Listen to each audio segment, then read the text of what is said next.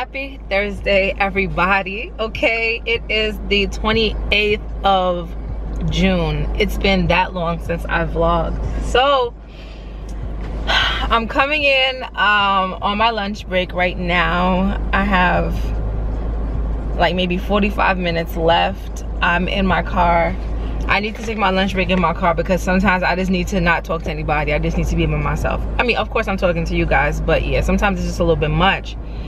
So, um, I guess I wanted to come on here after God knows how many days and just talk to you guys about how this, um, this transition is going so far. Um, I'm just gonna get my food, hold on. I'm not being healthy today and I don't care. That's the type of timing I'm on today. I got fries and I got chicken tenders. Look at me spilling everything.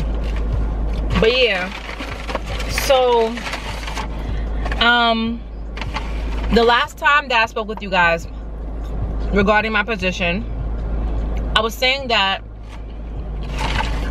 I didn't know how the um the training process and everything was gonna go because I'm the first nurse practitioner that they have hired at the place that I practice and I guess um, I'm kind of like a guinea pig and you know things of that sort.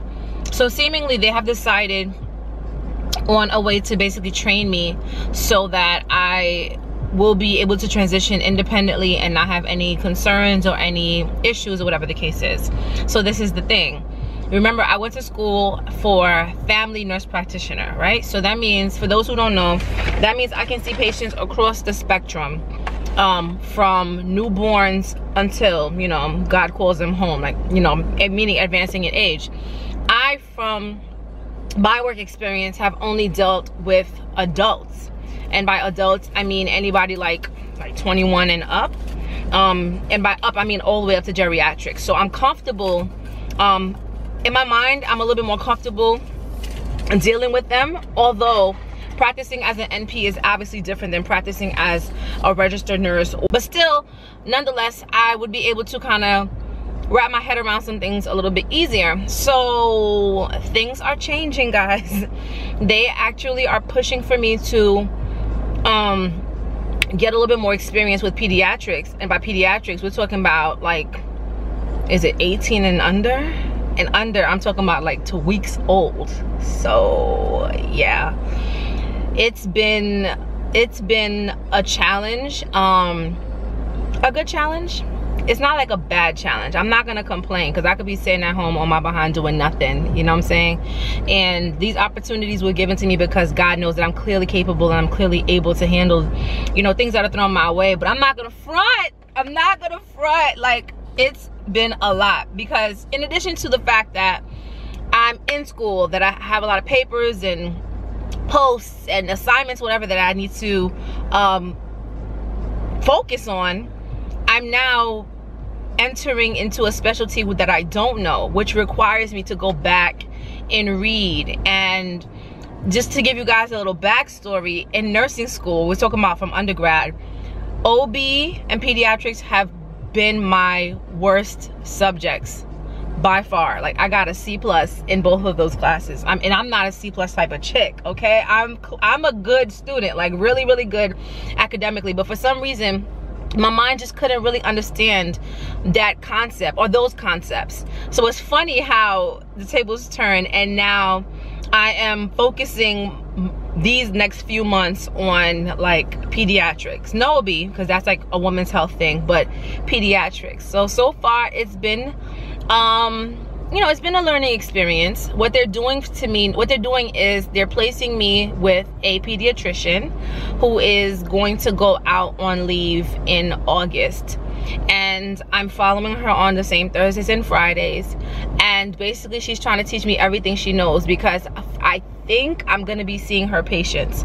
Um it's it's I've had issues not issues but I've had situations where when she tells her patients oh just letting you know I'm going out on leave, blah, blah, blah. They look at me like, so you're gonna be taking care of, the, of you know, my daughter or, you, you're gonna be taking care of me or this other case.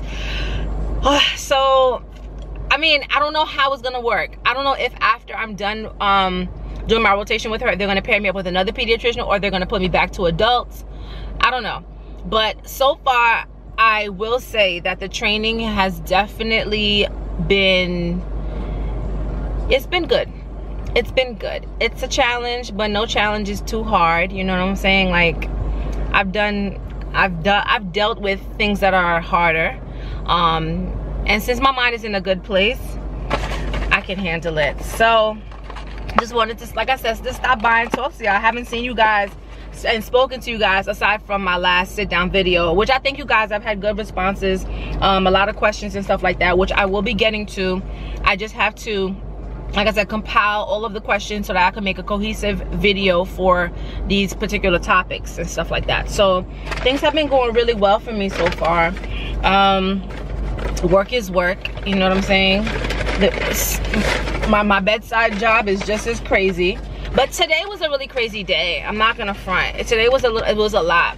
I just came, uh, I started this morning with um, the adults and now I'm going to do peds this evening. But moving forward, I think I'm just gonna be doing peds. Today was my last day dealing with the adults for now until, you know, after the um, pediatrician goes out on leave then they'll figure out where to put me but today has been like so crazy and all i could do was like laugh like literally, I've had some crazy days and crazy, well, crazy nights in my case because I worked the night shift. I've had crazy nights. I mean, more than enough. More than my I can even count or consider.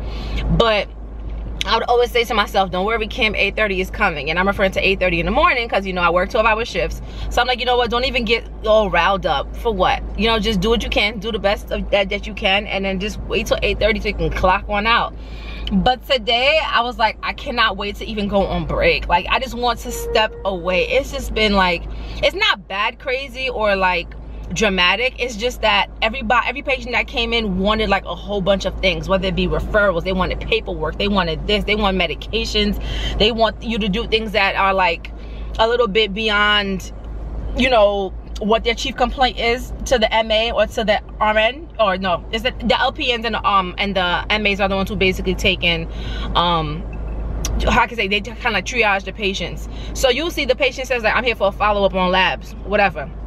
And the minute you go in there, they want they want paperwork, they want this, they want something else done, they want to refer for this, they want you to do this, they want you to look at this.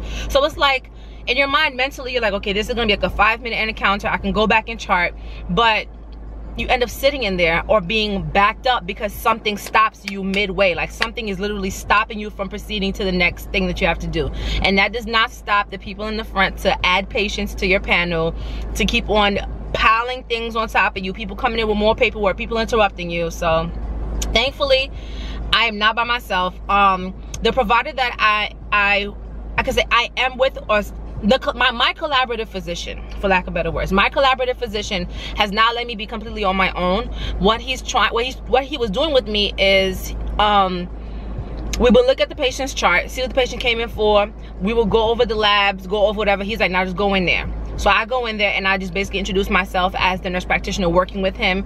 Um, and I kind of do like a pre, like a it's not a triage but it's like a triage to him coming in. So i go in they have any questions i answer all their questions concerns. If they want any referrals i will get a whole list of all everything that they need done. And i just come back to him and say okay this is what's going on blah blah blah. So he can put it in really quickly we can move to the next patient.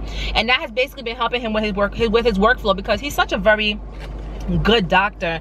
His patients love him. They're very loyal to him and he always is busy as a result. And sometimes when you get stopped by one one particular you know case it it throws you off. And you know he has to go on break. The nurses got to go on break. You know people gotta it's a lot. It was a lot today. So i'm happy that i'm on my break right now. Okay? Um let me finish let me eat actually because i've been talking to y'all for about what like 10 minutes now? Yeah it's about like 10 minutes. I've been talking to you guys for about 10 minutes. I'm gonna eat my food um chill for a little bit like just mentally you know reset so that i can come and deal with these peds so if i don't come into you guys for the rest of the day i will likely see you all maybe friday? I don't know i'm trying to do something on friday I don't know what though. If I don't come in Friday, I'm definitely coming in on Saturday to see you all. So I'm happy to speak to you guys and I'll check you guys later.